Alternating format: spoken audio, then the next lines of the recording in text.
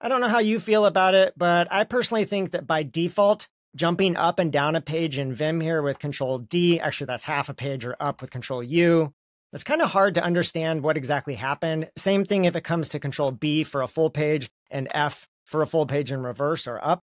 So when I'm moving around this way, I have a hard time understanding where I was at and where I'm at now. And if I don't understand that, I have a hard time understanding where exactly I jumped to.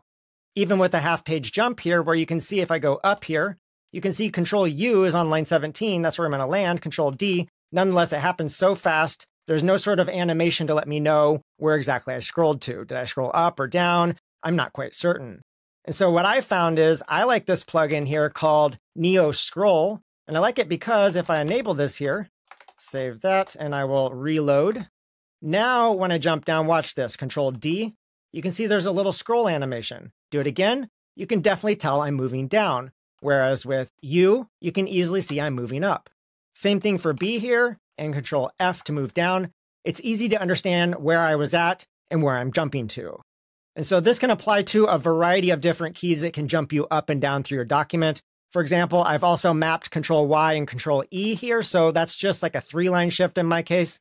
You can see it's not a huge shift, but still, it gives a little bit of a scroll animation so I can see that I was just moving down a few lines here. And of course, I also mapped page up and page down to it. By default, those were not mapped actually. And then in my case here, I adjusted the timing as well. I've set it to 350 milliseconds. I just feel better about that. Actually, let me show you this here. Let's make a change to that. Let's change that to something drastic like 800.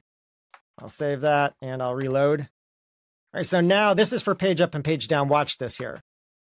See, that to me is way too slow. And I also felt the same way about 450. So that's why I adjusted that and set that to 350 instead. And if I jump down here, you can see there's mappings here for ZZ, which centers, as well as ZT and ZB. So you can map all three of those. And then in this case, because how far it has to scroll may vary depending on where it's at. Like if I come down a few lines here, if I then come up here and I do ZB, it's only going to have to move three lines, so it's a lot less time. Whereas if I've got this on top and I do ZB here, that has to scroll a full page. And so in this case, you can see here, you're setting the timing in terms of moving half of the window. And it'll be a fraction of that if you move less, or it'll be double that if you have to move the full window. So definitely check out this plugin. Let me jump up to that there definitely check out this NeoScroll plugin. It is well worth the time to add to Vim.